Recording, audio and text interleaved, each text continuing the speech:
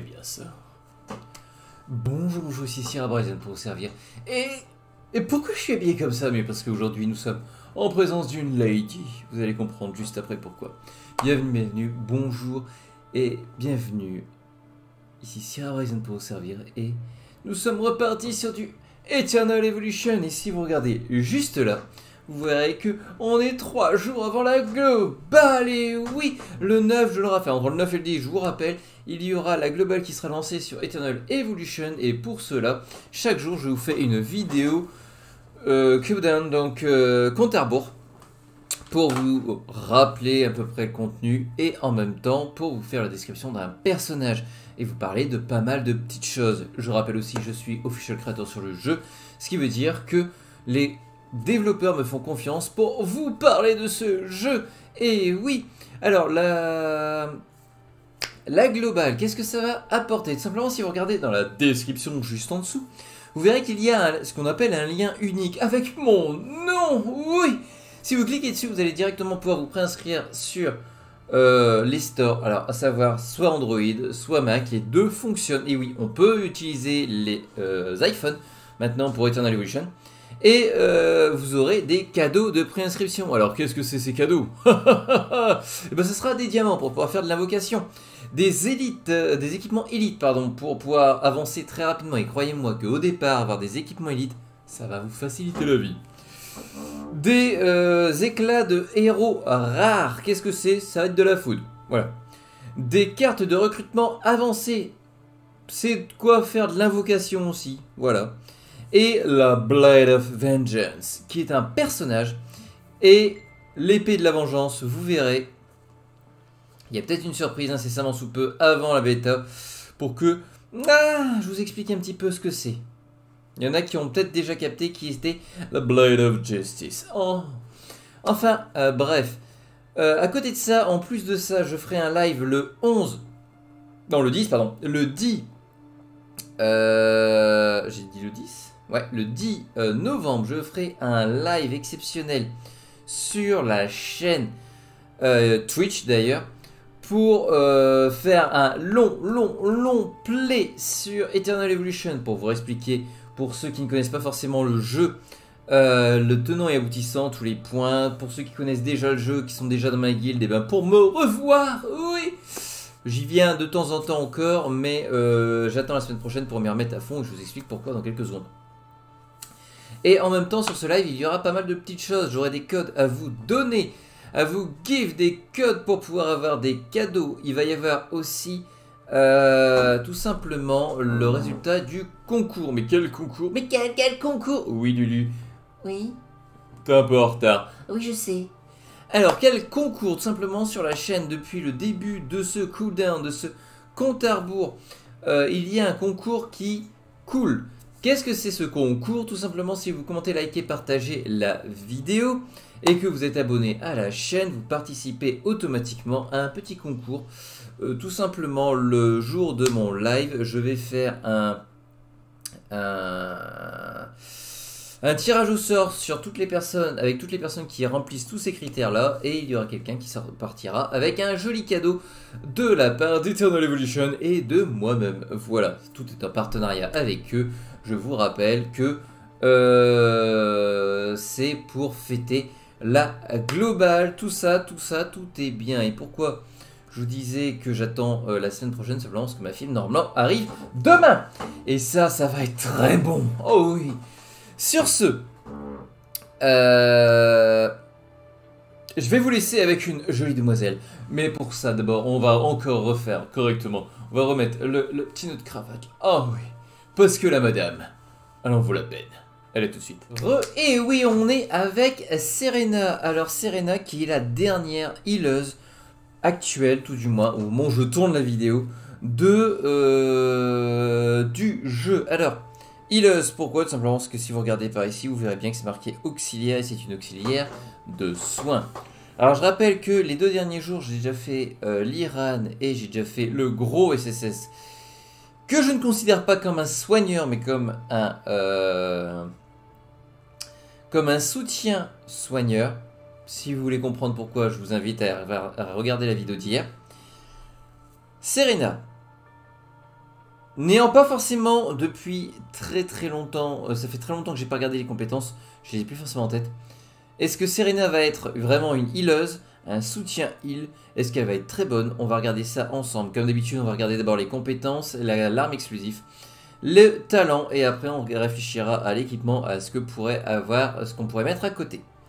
Alors, ange gardien, l'utilisateur chante en continu invoquant un ange sur le champ de bataille pendant 5 secondes. Chaque seconde lance L'ange lance lumière divine pour soigner l'unité alliée euh, ayant le PV le plus bas sur le champ de bataille. Pendant les 3 premières secondes, son champ, le sort sur la main s'élimine contre les contrôles de foule.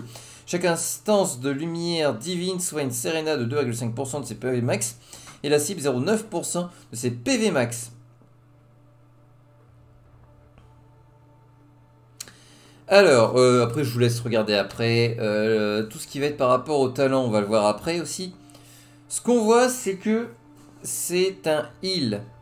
Son ult va donc être un heal euh, long terme qui va avoir la particularité de ne pas remettre beaucoup, mais d'immuniser contre les altérations d'état et de remettre, euh, on va dire, par couche, toutes les secondes pendant 5 secondes. Ça peut être intéressant, sachant que ça soigne l'unité qui a le moins de PV et elle-même. Alors, Divine Lumière lance euh, Lumière Divine pour soigner l'unité alliée les plus faibles sur champ de bataille. Chaque instance de Lumière Divine soigne Serena à hauteur de 6,4% de ses PV max et la cible à hauteur de 2,6% de ses PV max. Donc on voit que la Lumière Divine, euh, lorsqu'elle est invoquée, hors ult, elle est plus puissante. Je vous rappelle, là on est 6, 4, 2, 6. Et là on est à... Euh, 2509. Donc fondamentalement, la lumière divine, la soin lumière divine est plus costaud que son ult. Mais son ult a la particularité de le faire sur la durée. Je vous ferai pas un cours de mathématiques sur les suites arithmétiques, les suites géométriques et tout le bordel. Hein. Euh, rappelez-vous vos lointains souvenirs et vous rendrez bien compte que ah, l'ult, même si elle a des caractéristiques beaucoup moins importantes, euh, au final va mettre plus de points de vie. Bénédiction des cieux, l'attaque et la défense des alliés, euh, ciblés euh, sont augmentés de 30%, la vache, pendant 7 secondes. Je vous laisse bien évidemment, je, ne détaille pas toutes les, toutes strates. Je vous laisse pour ça que je vous laisse le, visuel. Comme ça vous pouvez regarder, vous pouvez faire pas si vous en avez envie. Et enfin, lorsque les compétences est lancées, euh, lorsque la compétence est lancée.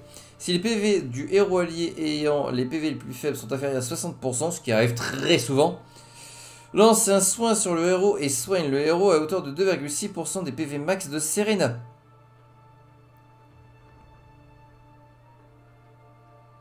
Et si c'est pas le cas, qu'est-ce qui se passe?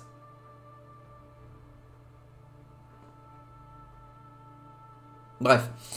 Euh, donc Serena est une soigneuse, littéralement, trois sorts de soins, un sort annexe qui est un boost d'attaque et de défense, c'est une soigneuse. Euh, maintenant, est-ce qu'elle est plus puissante que l'Iran? Je suis mitigé, on va regarder les talents et son arme exclusive. Euh, L'ange gardien provoque, invoque 3 rayons de lumière sainte supplémentaires pour soigner, donc ça c'est très costaud. Soit les alliés provoquent également des dégâts égaux à 70% des soins à l'unité ennemie. Ça, c'est très bon. Au moins la défense des deux héros euh, de deux héros de rue en même temps. La traduction n'est pas très bonne là pour le coup. Euh, on s'en fout. Et enfin, lorsque la compétence est lancée, ignore la condition de déclenchement du pourcentage de PV de héros et délivre les soins euh, une fois. Ah, d'accord, donc le troisième, la dernière compétence, donc la quatrième, ou la troisième si on ne considère pas la ult, si le personnage, euh, si vous n'avez pas d'unité qui a 60% ou moins de PV, la compétence ne sert à rien. Ça se déclenche dans le vide. Bon. Après, bien évidemment, on a vu qu'il y avait une compétence euh, qui allait bien. Euh, exclusif, augmente les effets de soins de l'ange gardien de Serena de 20%. Augmente l'effet de soins, ça augmente les effets de soins, augmente la défense. D'accord. Donc ça augmente les effets de soins. Alors, comment gérer, enfin gérer, non, comment utiliser Serena? Bien évidemment, comme les autres soigneurs, Bah, je vais vous dire de euh, favoriser un maximum les PV. PV, PV, PV, PV. Voilà. Euh, plus il y aura de PV, mieux elle mettra, euh, mieux elle fera ses soins, mieux plus elle mettra de soins. C'est une soigneuse, 3 soins, une altération d'état. C'est une soigneuse particulière parce qu'elle va quand même mettre des dégâts sur les ennemis quand elle va soigner. C'est intéressant parce qu'elle a beaucoup de soins. Euh, maintenant, le moment où vous attendez tous, puisqu'on a vu tous les soigneurs. Quel soigneur pour moi, pour moi, selon moi, serait le meilleur soigneur Alors déjà, rien qu'en disant ces termes-là, vous rendez bien compte que le SSS est mis de côté. Pour moi, ce n'est pas un soigneur purement et simplement. Donc le SSS est mis de côté, c'est une excellente unité, mais elle a la particularité de devoir se mettre en middle range et non pas en backline. Euh, le fait qu'elle soit au milieu, sur la zone, la strate du milieu, fait qu'elle va être beaucoup plus sollicitée au niveau des dégâts. Enfin bref, je vous renvoie à la vidéo d'hier si vous voulez savoir mon avis sur le SSS qui est très bon. Mais euh, pour moi, même si ça fait mentir les tier lists plus ou moins officiels, ce n'est pas le meilleur soigneur.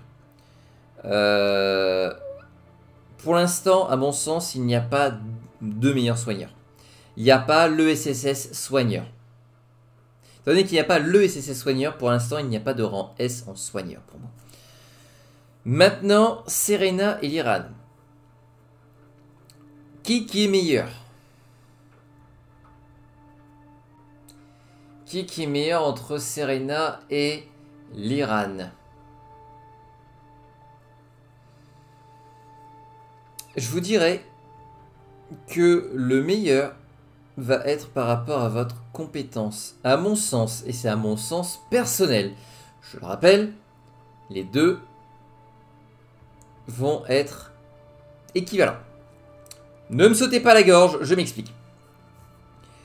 L'Iran a la particularité de soigner de différentes manières et d'étourdir l'adversaire.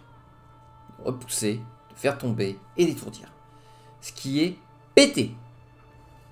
Mais c'est pété que si vous avez un, une construction autour. Si vous avez une construction qui fait que les adversaires vont être euh, amenés à tomber ou à être euh, stun, c'est une excellente unité. Face au boss, c'est très bien. Enfin, aux boss qui ne sont pas immunisés au stun. Face à de la multi, mais alors vraiment de la masse en face, l'armée, une, armée d'araignées, enfin voilà une masse, cette compétence de l'Iran ne sert à rien. Par contre, la compétence de Serena va être utile. Donc si vous êtes face à une masse, on va dire de l'AOE, vraiment une zone, enfin voilà, pas 5 unités, mais une dizaine, quinzaine, Serena est obligatoire. L'Iran ne sert à rien. Si vous êtes face à une grosse unité, euh, enfin, à quelques grosses unités qui sont sans qui n'ont pas d'immunité, euh, on va dire, euh, scénarium, de scénarium, avec le stun, l'Iran, à mon sens, sera meilleur. Maintenant, sur le standard, on va dire sur l'arène, sur les combats, on va dire en général, eh bien ça dépendra de votre équipe. Véritablement, ça va dépendre de votre équipe. Tout simplement parce que elle va augmenter la défense de l'allié ciblé et augmenter de 30% pendant 7 secondes. La défense de l'allié ciblé va être augmentée. Vous la ciblez comment? C'est de l'aléatoire pas marqué l'allié en, première ligne. C'est-à-dire qu'elle peut très bien balancer son sort d'augmentation de défense sur le rang arrière qui en a rien à foutre. Là, on est sur de l'ARNG. C'est fort, mais il faut que ça cible la bonne unité. Bon.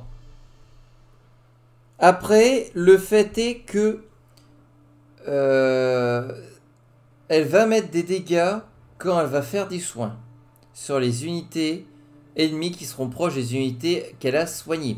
très souvent, elle va soigner les... Bah, ce sont les premiers à être sur le champ de bataille. La première ligne.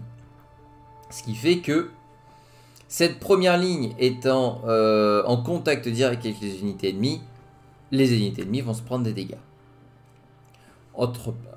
D'ailleurs, en passant, sachant qu'elle va mettre des dégâts via Serena, Serena aura participé à la mort de l'unité, donc elle va récupérer de l'XP via son arbre de talent. Enfin, de l'XP, de, des points de compétence via l'arbre de talent. Bon, ça c'est mis de côté. Mais, si vous êtes sur une, on va dire, sur une composition qui est basée sur de l'altération d'état, ou vraiment euh, un principe de strat divers et variés, la RNG de sa troisième compétence ne sert à rien. Elle va vous désavantager en arène, ça va être compliqué. Voilà, je vous dis franchement, en arène pour moi Serena c'est du random. Et vous connaissez mon principe de base, le random je n'y crois pas. Tout simplement parce que je n'ai jamais de chance. Vous avez souvent vu mes lives, vous avez souvent vu mes vidéos, je n'ai jamais de chance. C'est-à-dire que j'utilise Serena, je la mets sur le champ de bataille, elle va lancer sa dernière compétence pile quand celui qui a le plus bas de points de vie, il a 61% de PV, elle aura foutu sa compétence dans le vide, et elle va balancer son augmentation de défense sur la seule unité qui se prendra pas de dégâts avant un bon bout de temps. Traduction, deux de ces quatre compétences ne me serviront à rien si je n'ai pas de chance. Ce qui est mon cas. Serena est une très bonne unité, mais si vous êtes sur le mode histoire, elle peut être très bonne, voire meilleure que l'Iran. Pourquoi? Parce que vous pouvez recommencer les zones. Voilà.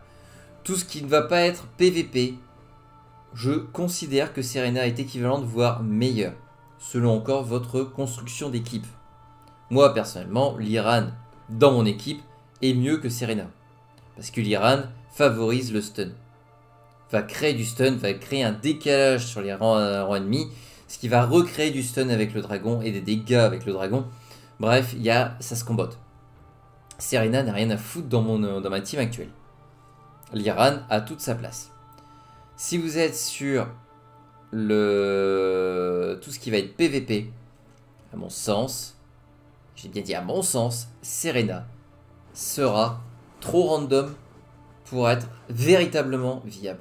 À ce moment-là, je vous conseille l'Iran ou je vous conseille le SSS, même si pour moi ce n'est pas un full heal. C'est pas un full heal, mais il fera mieux le taf que Serena. À mon sens, Serena, elle est très bien pour l'aventure, mais pas pour le PVP. Euh, bien évidemment, pour l'équipement, vous privilégiez à fond ses PV, vu que ses soins sont basés sur les PV. Et ça devrait vous faire un très très bon soin. Mais voilà, à mon sens, Serena est équivalente, voire légèrement moindre que l'Iran. Je sais que ça va à contresens total de tous les tier lists, même les tier lists officiels, pseudo-officiels. Je m'en fous. Vous connaissez ma façon de penser. C'est personnel. Euh, c'est selon mon ressenti, surtout selon mon bagage et euh, mon, euh, ma façon de jouer. Selon moi et ma façon de jouer, Serena peut être très intéressante pour le mode histoire, je dis pas le contraire. mais alors elle à chier a priori sur le mode arène. Voilà. Sachant que moi, le mode histoire, j'utilise une équipe qui n'a pas besoin de Serena, mais qui est favorisée par l'Iran. Pour moi, l'Iran reste meilleur d'un tout petit peu, on va dire. Par contre, au mode histoire, effectivement, euh, Serena serait beaucoup plus qualifiée.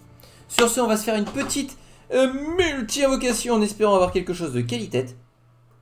Ça serait toujours agréable. On va essayer de faire ça. Bon, on va se faire la petite invocation. Merci. On va essayer de faire la petite invocation là. La petite invocation gratuite. Et oui, je n'ai pas encore fait mes daily aujourd'hui. Mais je vous l'ai dit, hein, je recommence le jeu sérieusement que au moment où j'aurai la fibre et je pourrai refaire des lives assez vert, euh, assez souvent. Voilà. Hop, mais on a de quoi faire une petite multi en diams. Et on va espérer avoir quelque chose de qualité. Allez, un petit violet. Un petit violet. Ou même plusieurs violets, ça je serais content, plusieurs violets. Allez, allez, allez. Et bleu. Non, c'est de la merde. Mais on va laisser ça quand même le temps que je vous rappelle que si la vidéo vous a plu, n'hésitez pas à commenter, liker, à partager et à vous abonner si ce n'est pas déjà fait, ça ne vous coûte rien et moi ça me ferait extrêmement plaisir. Et en plus de cela, cela va vous permettre de tout simplement participer au concours du 10 sur mon live exceptionnel qui sera sur plusieurs heures, je pense, d'Eternal Evolution où je récapitulerai tout de A à Z, où je ferai une grosse, grosse, grosse percée dans tous les niveaux, euh, dans toutes les strates de jeu. Et on sera bien évidemment en euh, duplex avec mes envoyés spéciaux. Oh Bref, on sera très certainement avec une partie de la communauté. On va fêter le fait que j'ai ma fibre. Et oui, étant donné que je vais bientôt avoir ma fibre, on va pouvoir se refaire quelque chose de qualité très très souvent. Et on va pouvoir avoir des vidéos sur YouTube plus souvent. Des lives, on va se les refaire, vous inquiétez pas. Là, j'arrive, j'en fais peut-être une par semaine et encore. On va se refaire des lives et on va se les faire en version qualité. Oh D'ailleurs, n'hésitez pas à regarder le Insta. Euh, et le Discord, puisque il y a une petite annonce. Il y a un petit jeu qui va arriver bientôt. En plus des, en plus des surprises que... Oh, oh, mon dieu, il y a tellement de choses. Je vous rappelle le lien unique qui permet de vous euh, préinscrire sur euh, la globale si vous n'avez pas encore le jeu. Et quant à moi, il me reste plus qu'à vous dire à la prochaine. Bye.